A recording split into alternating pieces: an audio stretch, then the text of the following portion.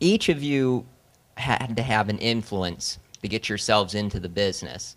So, who influenced you most to get your start? And once you got into the business, what did you have to do to because each of you you have so many voices in your repertoire you know how many with all those voices what do you have to do to take care of that the vocal cords like do you have any techniques or tricks that you learned Heavy drinking, heavy smoking, um, Live life, live life, uh, party. Um, Absolutely. sing. Try doing Sing. eight shows a week. Yeah. but uh, seriously, all aside, you know the, the, the best exercise ever that, that I've ever used for is, is singing. Sing every day. Speak out loud every day. Uh, don't really smoke. Don't drink. Drink is you know it's just like you know. But um, I, I find that that helps quite a lot.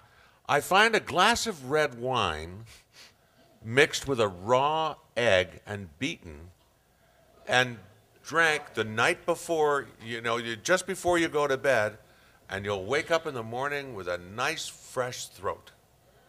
I, right? It sounds awful. It Yeah, sounds it does. disgusting. Hold on. But I'll tell you what, I learned it from an opera singer. You mix a raw egg with red wine. You knock it back before you go to bed, and because every time I felt a laryngitis coming on, I'm like last night, I was feeling rough. You knock it back the next morning, you wake up, and your voice is good. Wow. That's crazy. I know it's weird, Never but it's heard true. it. I'm gonna have to convince somebody else to try that first. then. I'm going to watch you do it. And Oh, uh, I'm- I've done it many times. I, I, I've got no no worries. But yeah, I would say for me, singing is the best. As far as uh, heroes, you have to realize I was that kid in the living room on Saturday with my head on my fists, uh, watching Saturday morning cartoons. So, yeah, I, I'm I'm every kid who's ever been mesmerized by Saturday morning cartoons. So, to grow up and, and be in the presence of, of my heroes, those that were still alive when I got a shot at this, Butler. Daws Butler, and I, I, I was in studio with Mel Blanc early, Blanc. early.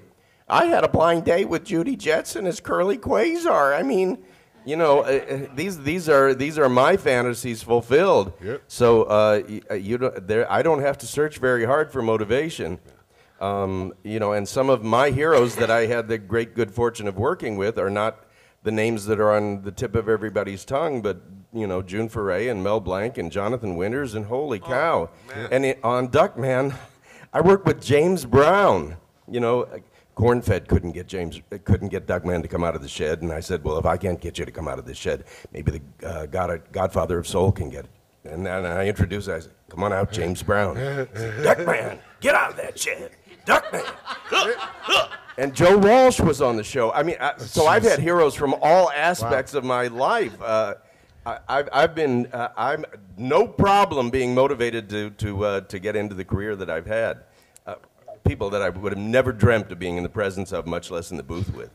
I grew up as an impressionist. I was the fifth grader who did impressions of Jimmy Stewart and everybody. And then I did a live show with Mel Blanc.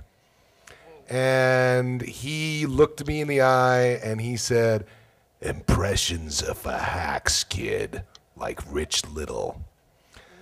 Ooh. And I had met Rich Little. Um, and Rich Little didn't like me because his young four year old son preferred my Kermit the Frog to his.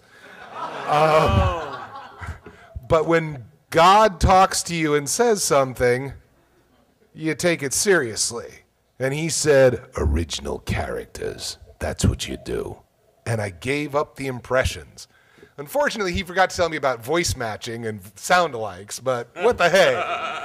But it was like from that point forward, it was all about creating original stuff, and I'll never forget that moment.